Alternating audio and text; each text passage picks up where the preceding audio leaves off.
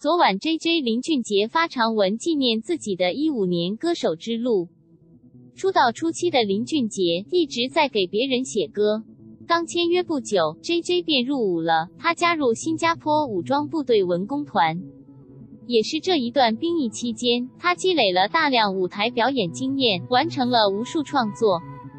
最着名的《记得》收录在了阿妹2001年的专辑里。之后，林俊杰为庾澄庆、阿杜、王心凌、吴克等人量身定制了多首主打歌曲，这也让他显露了头角。随后，在二零零三年，林俊杰发行首张全创作专辑《乐行者》。虽然当时 SARS 四行为林俊杰的出道之旅带来许多阻碍，但林俊杰和他的团队依旧坚持了下来。他们用十三个月走遍了二十六个城市，用自己的歌声驱走病痛带来的阴霾，带来希望。《乐行者》专辑封面不绝间，林俊杰用他的歌声伴。随我们整整十五年，他一开口就是我们的青春，而他自己也从一个腼腆害羞的大男孩成长为现在从幕后到作曲全能的制作人，从最佳新人奖到两度问鼎歌王，我竟想不到不喜欢他的理由。一如大多数歌手，J J 被时间打磨成一块璞玉。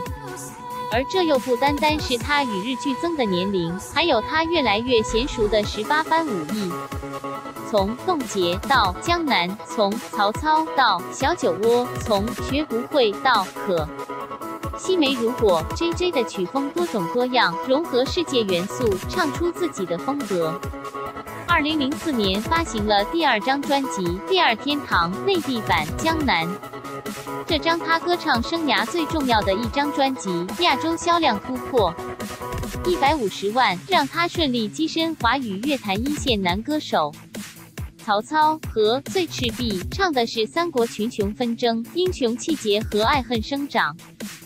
还记得唱着小酒窝的 J J 脸上挂着温暖如邻家哥哥的微笑，带着他特有的小酒窝，唱着最甜的歌曲。如果说演唱会和跨年的登台让我们见证了 J J 强大的来福功底和行走的斯蒂班的嗓音，那么去年的梦想的声音就让我们见证了他的音乐才华和不拘一格的改编。我怀念的是婉约感人的对女孩的思念，爱要怎么说出口？是不同于赵传的林氏金曲风格，崇拜是如泣如诉，末班车是细腻和耐人寻味，而女儿情和菊花台更是融会贯通，完美生动。的确如此，如果不是对音乐的热爱和执着，又有谁能够坚持几十年如一日呢？即使是在身体最痛苦的时期，胃酸倒流侵蚀声带，导致 J J 几近失声，演艺活动被迫终止，他也从未想过放弃音乐。那些痛苦与挣扎，都记录在了那首《第几个一百天》中。宽阔的音域，足够的气息，独到的演唱，顶级的唱功。他自成一派，成为了瞩目的音乐侠客。无论在低沉烦躁、胡思乱想的夜，还是在欢喜忧愁、需要安慰的时刻，J J 的歌声总是有种强大的力量，伴我安眠，助我向前。And now I know